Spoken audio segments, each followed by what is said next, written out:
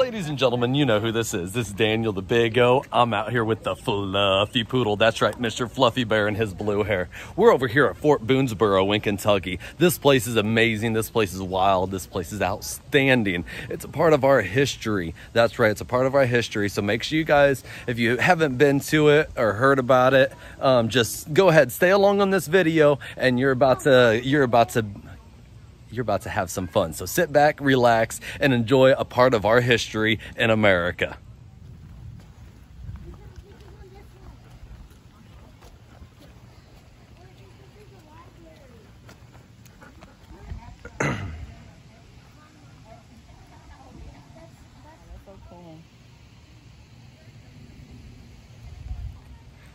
So Fort Boonesborough is uh, it's a fort that was uh, around during the Civil War.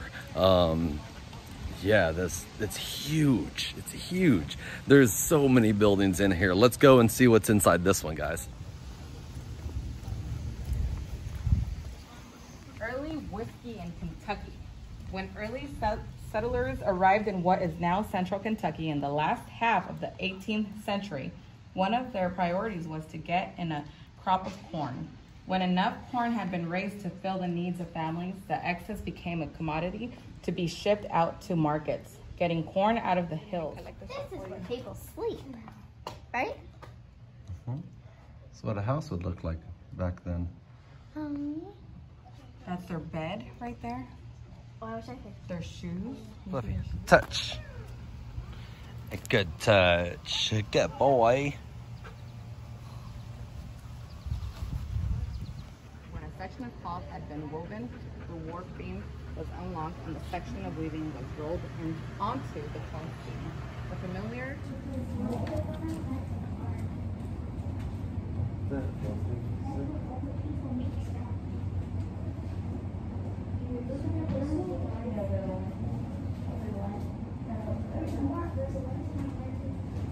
Oh yeah, I see that.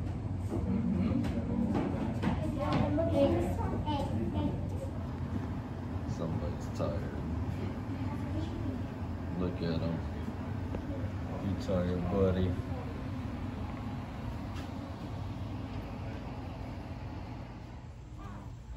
Two thirds of the time you said?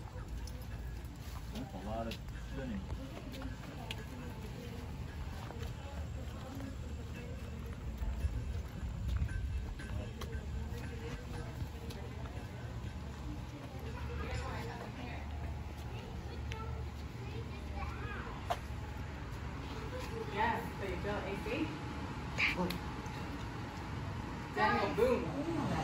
Hey, who hasn't heard of Daniel Boone? I know everybody, everybody has heard of Daniel Boone. Look at all this Daniel Boone stuff. This is crazy. This fort is a wild.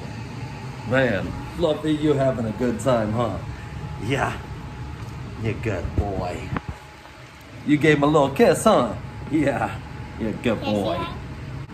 Okay, say hi. Hi. Hello.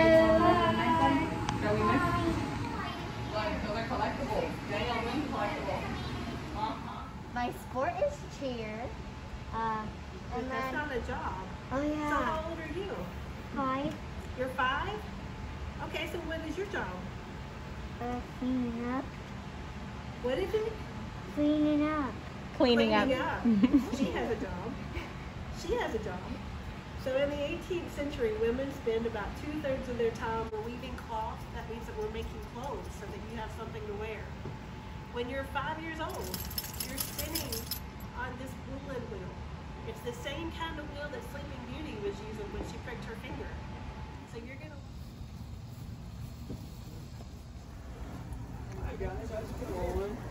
I'm forming up uh, S hook. These things, Telling them, were fantastic. Uh, they were crucial for cooking early on uh, in, uh, over the fires and raising and lowering your cookware. And even in salt production, uh, people were needing to make salt out of the frontier, and so you know they would set up uh, boiling vats a lot like that, and they would need S hooks. So you have way more moves. Just so many needs, so many uses.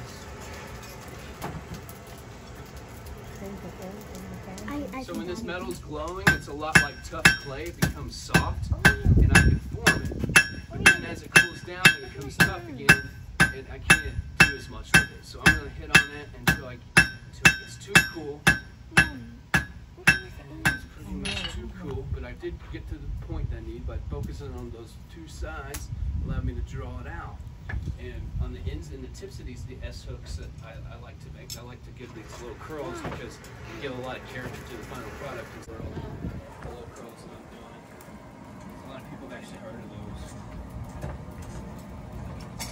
And then this bending work I'm doing is, is, is scroll work, just scrolling. And then later on, when I make my bends, the S's, I'm technically going to be doing scroll work with the horn of the anvil too. Horn of the anvil is fun to work with.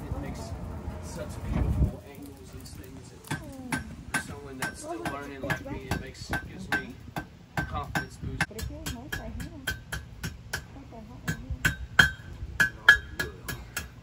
This is green. Look at that. Sometimes the slots. They gave it to our family. Isn't that awesome? Yeah. We'll have to put that in the camper. Look at that, Mr. Fluffy Bear.